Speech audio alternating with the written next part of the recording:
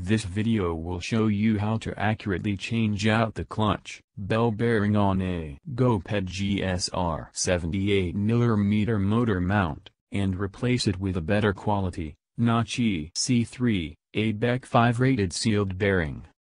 And how to safely and securely install a new clutch bell without damaging the bearing or warping the bell in the process.